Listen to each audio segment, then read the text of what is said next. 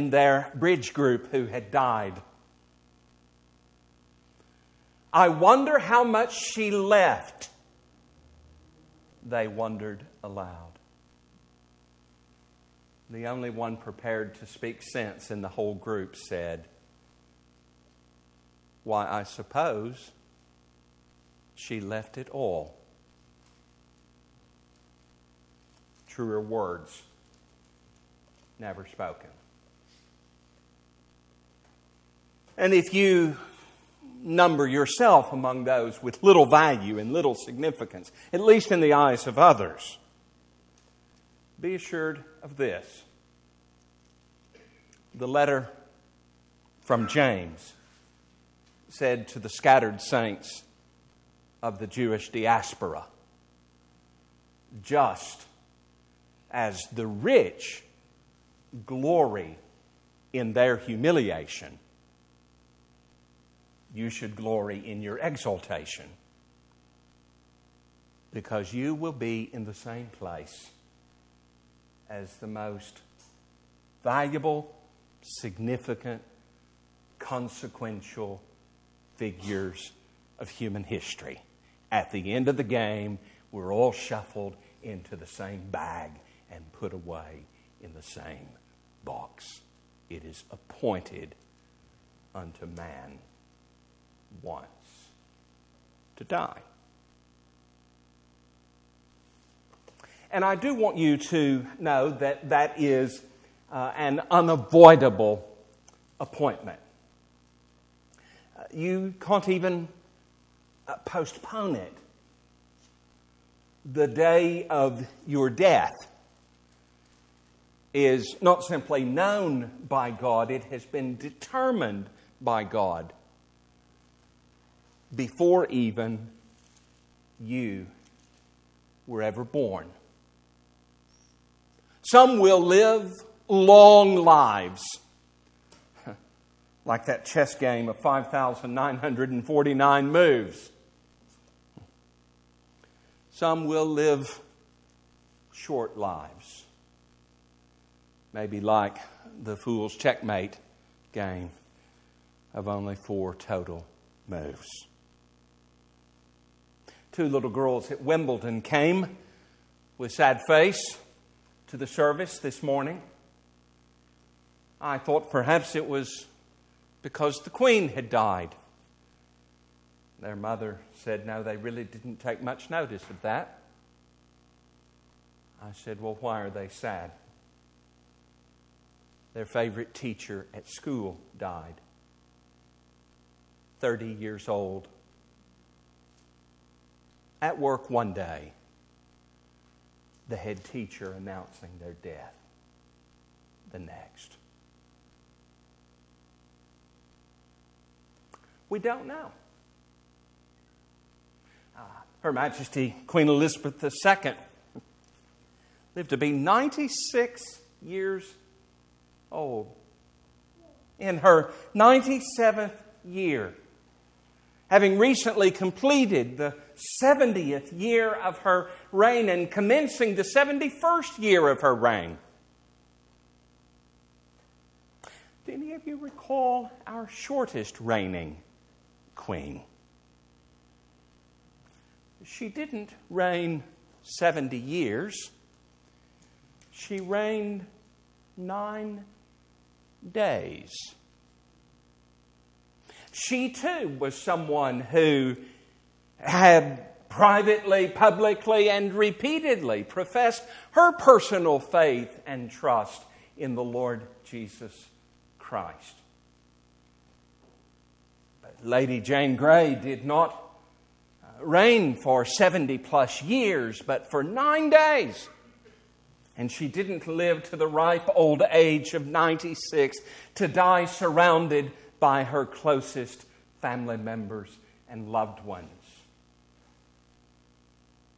She was beheaded in the Tower of London, steadfastly refusing to recant her personal faith in the Lord Jesus Christ and steadfastly refusing to reject the Protestant faith in favor of Catholicism. Uh, some of our chess games will be short. Uh, some of them, in comparison, will be long. Some of our years of service will be extended even beyond that which is normal and natural. And some will be seemingly cut short. But at the end, make no mistake about it, all the pieces are shuffled into the same bag, put away in the same box. The same fate awaits us all. It is appointed to man to die. But this part of the verse is followed by two absolutely astounding words. Two words which, if true, change everything. The words after death. Uh, I, I know that we tend to think more in terms of an afterlife. But I think biblically one could make the argument that the more precise term would be after death. Uh, death is not the end. Death does not lead to an endless cycle of reincarnation because it is appointed unto man to die once. But neither does death lead to annihilation because it says after death. And be assured of this one thing the queen died. But after death, there is something yet to come. And each of us will die as well. And after death, there is something awaiting us all. The scripture says, after death, then comes judgment. After that comes judgment.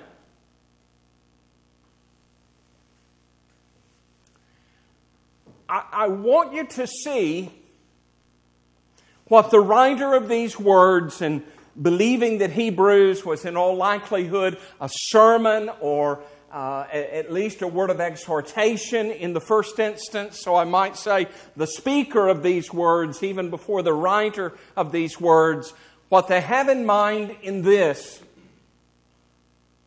is to point us to the brevity of life, of course, to the certainty of death.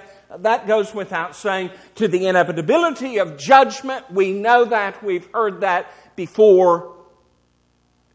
But if you read these verses in their larger context, they are making clear that those who know and love and follow and serve the Lord Jesus Christ have no fear or nervous, um, uh, anxious foreboding or nervous apprehension about the judgment that follows death because we believe that our Lord Jesus Christ has fully satisfied the wrath of God. That he has satisfied all the demands of justice. That he in his own body has borne our sins on the tree. That he who knew no sin has become sin, that we might become the righteousness of God in him. He has borne the judgment of God upon himself that we might enjoy the mercy of God in our own hearts and lives.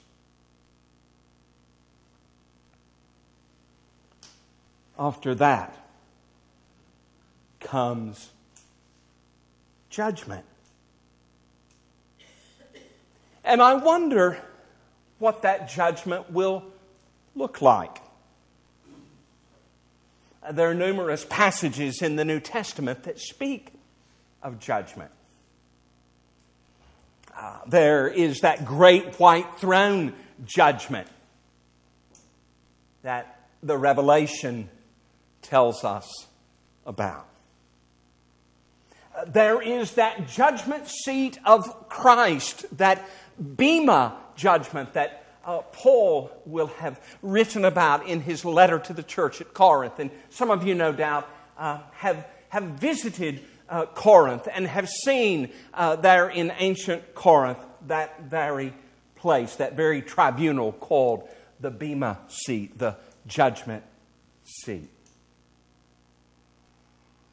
But the wonderful reality is that those who know and love and follow and serve the Lord Jesus Christ will not stand before that great white throne because our Lord Jesus Christ has borne our judgment upon himself on the cross. We will, however, and we do well to remember, stand before the judgment seat of Christ that we may give an account for the deeds done in the flesh, whether they are good or evil and all of our works will be tested as by fire. And the gold and silver and precious stone will be made manifest, even as the wood, the hay, and the stubble are destroyed. But it's interesting, if you look at the end of the verse, he says that Christ has been offered once to bear the sins of many, but that he will appear a second time. But this second time, he will not come to deal with sin, for that has already been dealt with decisively in his first advent. But he will come to save those who are eagerly waiting for him. A question. He will come, future tense, to save those, future tense, who presently eagerly wait for him. Haven't we already been saved? we need to remember that salvation is a multifaceted jewel, and that the biblical doctrine of salvation is a multidimensional truth. Yes, indeed, there is a sense in which all true Christians have been saved. The Bible word for that is justification. The great scriptural evidence for that is Romans 5:1, which says, Therefore, having been justified by faith, we have peace with God through our Lord Jesus Christ. We are saved. We have been delivered from the penalty of sin, and justification means that I stand before God just if I'd never sinned. But those whom he justified, he also glorified. You see, the past tense of our salvation is this wonderful doctrinal truth of, of justification, but the future tense of salvation is this wonderful theological uh, promise of glorification. When those of us who have been through justification delivered from the penalty of sin and who presently through sanctification are being delivered from the power of sin will in that day be delivered from the very presence of sin. Are you listening? Even the potential to sin through what Scripture calls glorification. It's a wonderful truth that when our Savior appears a second time, he will do so not to deal with sin. He's already dealt with sin. But he will appear a second time to save those who are eagerly waiting for him. I do not know which it will be with you. I do not know which it will be with me. I do not know if you will be numbered among those who say, Where, O grave, is your victory? Or if I will be numbered among those who will say, Where, O death, is your sting? But I know that whether we live or die, we live unto Him because we are eagerly awaiting the glorious reappearing of our great God and Savior, Jesus Christ, who, when He comes, though we will not all die, we will all be changed in the moment, in the twinkling of an eye. He comes this second time to save those who were eagerly waiting for Him. I wonder. On Tuesday, as our Queen no doubt summoned the last of her remaining strength to see off her 14th prime minister and to see in her 15th. If when she took to her bed, her meeting via Zoom the next day cancelled, an announcement that she was very unwell, and then an announcement of her death the following day, less than 48 hours later.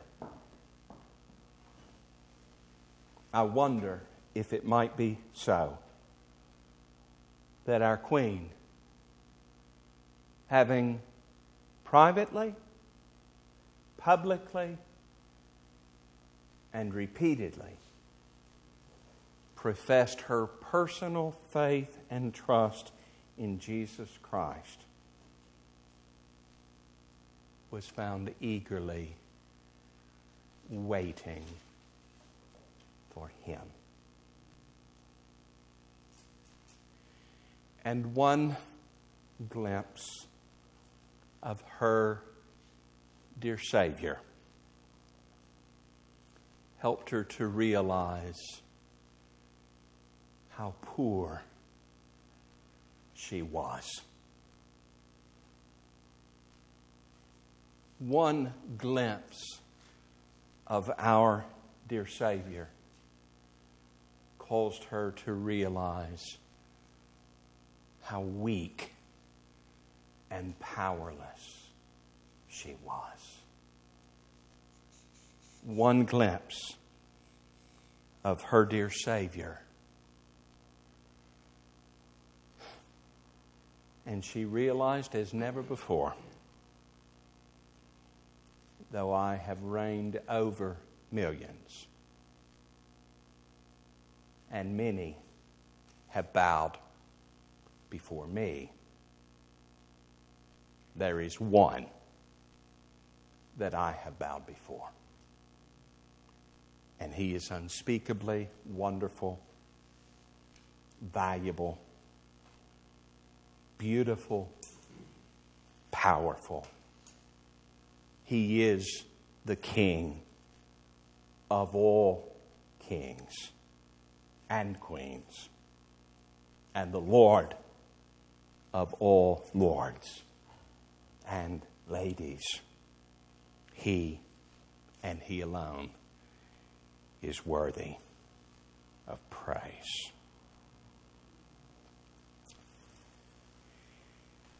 And so the time will come.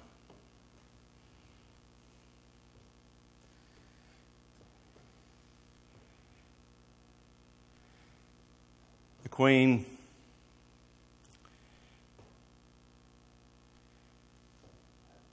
the King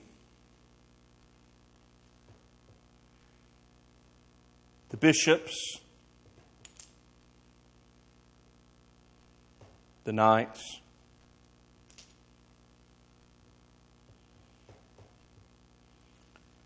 The rooks.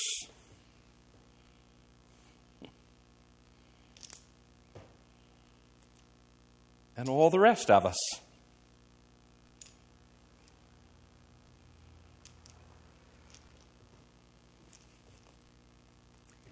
We go to the same bag. were put away in the same box. When that comes for you,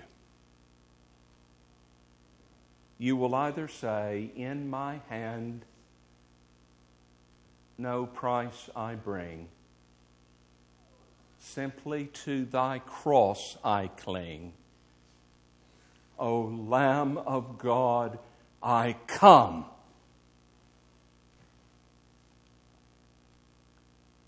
Or you will perish eternally